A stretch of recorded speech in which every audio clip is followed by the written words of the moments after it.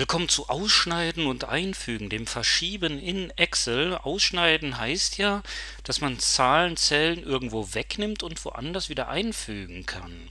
So, ich packe hier erstmal eine Rechnung drunter. So, hier drunter bildet, bietet sich eine Summe an. Ich klicke mal auf Summenzeichen. Ne? Die vier Werte darüber werden summiert. Und nun kann ich natürlich den ganzen Bereich hier markieren und mit der Schere hier mit dem Ausschneiden-Symbol, ich drücke mal Steuerung X, das Ganze hier ausschneiden, man sieht den Laufrahmen darum. Und hier an eine andere Stelle mit Steuerung V oder dem Zeichen für einfügen einbetten wieder. Ich klicke mal Steuerung V und jetzt wird es hier rausgenommen und an der Zielposition eingefügt. Natürlich werden bei diesem Ausschneiden, wenn Formeln betroffen sind, die Formelbezüge mitgenommen. So, das heißt, der weiß, auf welche Formeln er sich bezogen hat und da die mit rübergekommen sind, wird die Formel entsprechend angepasst. Das ist natürlich ähm, ja, heikel. Ich drücke mal hier Steuerung X, hier Steuerung V. Wenn ich hier eine zweite Reihe habe, zweite Reihe, und hier sind auch Zahlen, da kommt dann natürlich was ganz anderes bei raus, die Zahl 18. Jetzt will ich hier die Summe haben und ich nehme das hier und statt dieses Auto-Ausfüllen-Kästchens, mit dem ich die Formel ja nach, rüber, nach rechts rüber kopieren kann, erwische ich die Zelle hier am Rand und das ist auch Verschieben. Und da wird beim Verschieben der Bezug auf den alten Datenbereich beibehalten. Also, ich schiebe es nochmal zurück. Ja, wenn man eine Zelle mit Steuerung X ausschneidet und auf einen Zielbereich einfügt, bleibt der Bezug auf den alten Datenbereich erhalten. Also das ist was anderes als Steuerung C, Steuerung V. Ja, was macht er denn jetzt? Äh, das war Kopieren, Einfügen. Hier hat er sich gemerkt, die Richtung ja, hier nimm die eine Spalte weiter links, die 4 da drüber. Das macht er hier auch. Ja, das macht überhaupt keinen Sinn. Ich kopiere das da drüber. Soll der Zellinhalt hier überschrieben werden, jawohl, und dann muss ich das rüber kopieren, weil ausschneiden, ja, hätte den alten Bereich beibehalten. So, die Spalte nehme ich mal weg. Was ist denn, wenn ich hier nur die Daten rübernehme? Die Daten, ja, auch hier bleibt der Bereich auf dem Ursprungsdatenbereich kleben, wird der komplett verschoben, also Betonung auf komplett, wandert hier der Bezug rüber. So, das Ganze passiert nicht, wenn ich nur einen Teil der Daten verschiebe. Ich habe jetzt nur mal eine Zelle verschoben und der Datenbereich ist immer noch der alte.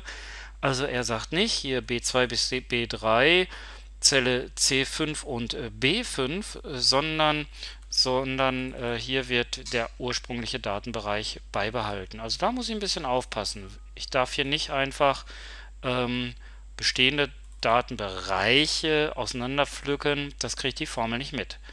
So, da gibt es ein paar nette Tastenkombinationen für Verschieben. Das haben wir ja hier mit der Maus gesehen. Man kann hier am Rahmen die Maus halten und verschieben. Doch was passiert, wenn ich nach unten fahre? Ich gehe mal aufs zweite Blatt, ich schiebe tiefer und tiefer und tiefer und das Blatt geht runter. Ne, das will ich ja gar nicht. Ich drücke dabei die Taste Alt. Bei gedrückter Taste Alt wechsle ich aufs zweite Blatt und jetzt lasse ich erst die Maus los, dann die Taste Alt. Der komplette Tabellenbereich ist hier entfernt worden und hier aufs zweite Blatt genommen worden. Also bei gedrückter Taste Alt, upsa, ja, wird auf ein anderes Tabellenblatt verschoben, wenn man sich dem da unten nähert. Im Übrigen bei Steuerung Alt wird entsprechend kopiert ja, hier ist jetzt eine Kopie der Daten und hier ist das Original noch mit Steuerung, Taste und Alt. So, mal wieder gelöscht. Ja, dann über einen kleinen Mausunfall. Ne? Ich markiere mal hier die Daten und habe eigentlich entfernen drücken wollen. Ähm, so, ich mache das mal rückgängig, Steuerung Z. Ich drücke mal Großschreibtaste entfernen. Jetzt sieht man hier, wie beim Kopieren, wenn man Steuerung C drückt, einen kleinen Rahmen drumherum fließen und wenn ich jetzt eine andere Stelle anklicke und die Eingabetaste drücke, also die Enter-Taste, wird mir dieser vom Laufrahmen markierte Bereich hier eingefügt. Also hier nochmal markiert. Ich nehme nur den Teil hier. Großschreibtaste, Entfernen-Taste. Der Laufrahmen ist drum. Ich gehe hier aufs zweite Tabellenblatt, klicke irgendwo hin und drücke Enter. Und jetzt wird nur dieser Teil hier aus meinen meinem Bereich hier entfernt, hier aus äh, meine Daten werden entfernt und die Formel, die wird entsprechend angepasst. Also das klappt wunderbar. So, mal rückgängig gemacht. Das klappt natürlich beim Kopieren auch ganz gut. So, und der kriegt natürlich auch hier in der Formel mit, wenn etwas in eine neue Datei gezogen wird. Ich drücke mal STRG X, STRG N, eine neue Datei, STRG V hier eingefügt und wechsle jetzt mal über Ansicht Fenster wechseln in die andere Datei. So, und hier fehlen die Daten und die Formel bezieht sich jetzt auf die neue Datei. So treu ist diese ähm, Kopieren-Funktion, also dass die hier den ursprünglichen Datenbereich beibehält. Wir haben gemerkt, beim Kopieren von Formeln muss man ein bisschen aufpassen. Ich mache das mal rückgängig. Ähm, dass ich hier nicht, wenn ich hier Werte habe, die Formel einfach rüber verschiebe, weil er dann immer noch den alten Datenbereich im Sinn hat. Aber man kann äh, natürlich das auch zielgerichtet nutzen, irgendwelche Daten komplett zu verschieben, falls hier mal was eingetragen werden soll. Beim Ausschneiden selber, ich drücke mal STRG X, haben wir beim Einfügen hier wirklich nur diese eine Option einfügen. Das heißt, wenn ich hier den Zielbereich anklicke und auf Einfügen gehe, nimmt er die Daten inklusive Formatierung so, wie sie drüben waren.